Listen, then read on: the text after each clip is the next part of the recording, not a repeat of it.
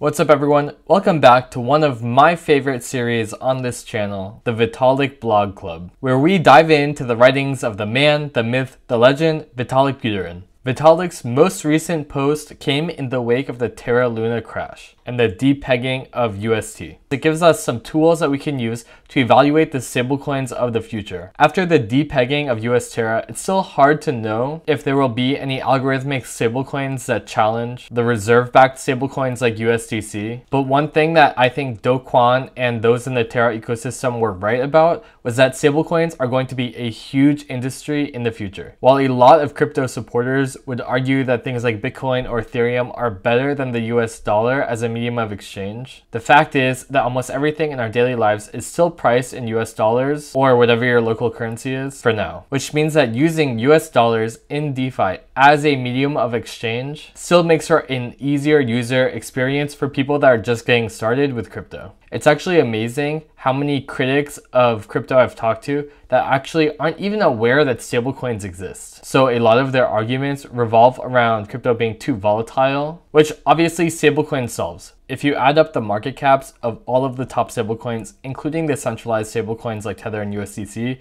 you'll get a market cap of around $150 billion.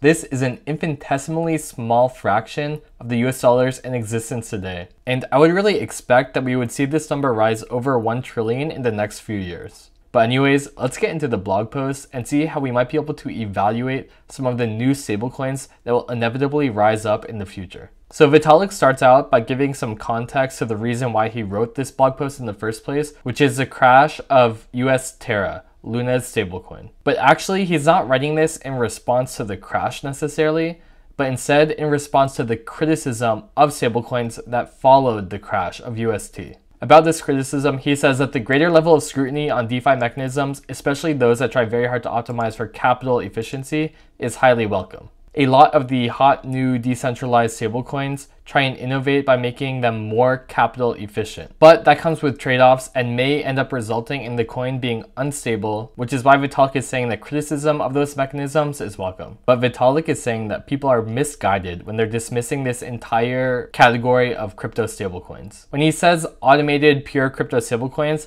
he's really excluding stablecoins that are reserve backed like USDC and USDT. He goes on to say that there are a lot of stablecoins that are doomed to collapse eventually, as obviously UST was. That there are, on the other hand, many stablecoins that are highly robust in theory and have survived extreme tests of market conditions in practice. AKA, there are some legit ones out there. But one thing that people haven't really talked about are objective standards for judging whether the stablecoin will fall into this category, doomed to collapse, or this category, highly robust. While looking back in time and seeing how a stablecoin might have performed during really tough market conditions is one way to judge the viability of a stablecoin. We need a tool to evaluate new stablecoins to see how they will do in theory and predict whether or not they will be able to survive tough market conditions in the future. So he goes on to define an automated stablecoin as a system that issues a stablecoin which is supposed to be tied to one US dollar or some other target and has a decentralized targeting mechanism that doesn't rely on custodians, aka, like I said before, not USDT and USDC. So Terra is probably the most famous stablecoin that falls into this category. And Terra works by having a pair of two coins where the volatility is passed on to one of the coins in the system, which was Luna. If the value of the stablecoin goes above the target, new coins are created and sold, and somehow that value raised is used to reduce the supply of the volatile token. Vitalik then goes on to introduce another stablecoin into this slot experiment, and that is RAI. RAI is a stablecoin that's backed purely by Ethereum as collateral. The mechanism that it uses to keep its price is a little bit more complicated than US Terra, but at its core there are two participants. RAI holders and RAI lenders. RAI holders are anyone that is holding the stablecoin on chain and using them in applications. RAI lenders, on the other hand, are the ones who are able to mint these stablecoins and introduce them to the system. They do this by depositing Ether into a smart contract, which then gives them the ability to mint a fraction of that value of Ether as the RAI stablecoin. More specifically, that fraction is two thirds of the value of that ETH. If the value of the Ether drops below that fraction, there's a liquidation. So the main mechanism that RAI has in order to control the price of its stablecoin is the redemption rate. If RAI goes above the target value, incentives are increased so that more lenders will mint more RAI. If it goes below the target, the opposite happens. So RAI is actually new to me and I just realized something that's not actually pegged to the US dollar. Instead, it has a floating price point, which means that it's meant to be more stable than a volatile asset like Ethereum, but it doesn't actually limit itself to staying at one US dollar, which makes sense because the redemption rate is a soft economic mechanism. And it would be very hard to use this to force something to be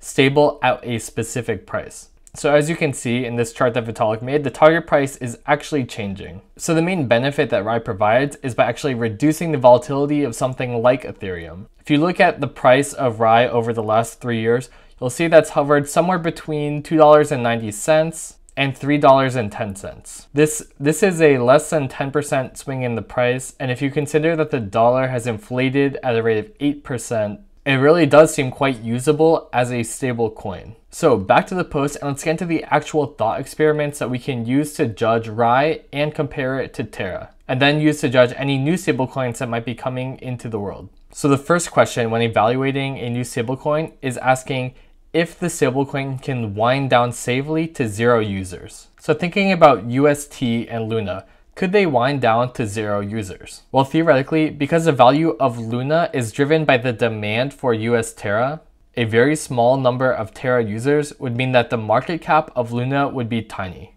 What if there were something like 20 Terra users and the market cap of Luna was just $200? At this point, the system is extremely vulnerable to huge shocks, and we really can't expect this stability to stay. The other thing about Terra, which I've talked about in some of my previous videos, is that this becomes a self-fulfilling prophecy. At any point, if it looks that Terra is unable to maintain its peg, people will rush for the exits, which is exactly what happened in the Terra depegging scenario. So because of these two things, Terra could never actually wind down to zero users. Now let's take a look at RAI. Because RAI security depends on Ether, but the value of Ether does not depend on the usage of RAI, therefore that positive feedback loop that existed in the Terra ecosystem is eliminated if for some reason everybody stopped using Ethereum for anything but the RAI token, then it would be back in the same boat as Terra and Luna. But because Ethereum isn't really correlated to the usage of RAI, RAI token can wind down much more safely.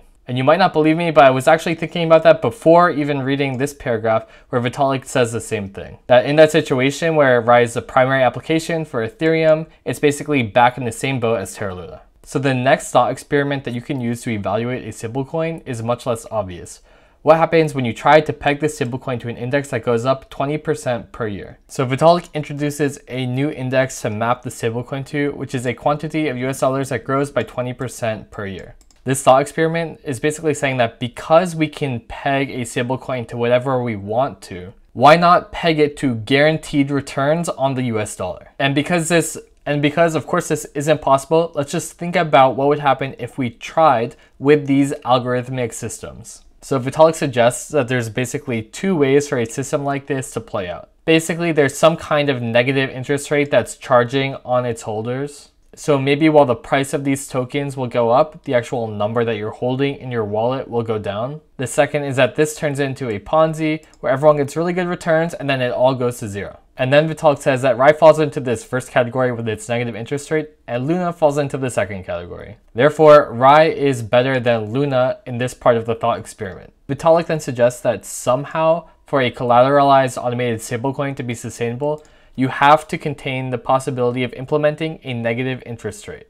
So there are main two ways to have this negative interest rate. The first is having the balances decrease over time, which is possible using smart contracts. And the second is RAI style, which actually drops the price of RAI when the redemption rate is negative. So what can we learn from these experiments and this whole big Terra Luna crash? Mainly that the protocols should not be evaluated as they're growing, or with the assumptions that they will be growing in the future. Instead, we should evaluate these systems as if they weren't growing or as if they were actually declining by a lot. Because Terra saw almost constant growth all the way up until its collapse, we never had a true test to see how it would fare if demand evaporated. So when you're evaluating that next big stablecoin, think about what would happen if the demand for it was not growing, and think about what would happen if the demand crashed one day. And I'll add my own two cents, where if you want any crypto protocol to be super boring, it's stablecoins. Terra Luna's hypergrowth strategy and Do Kwon's clapbacks on Twitter were very exciting, but a stablecoin's goal should not be to grow, it's to be safe and boring and cautious. So good luck out there, do your own research, and hit subscribe if you want to be part of the next Vitalik Blog Club. Maybe one day we'll even get Vitalik on the channel to go over one of his posts.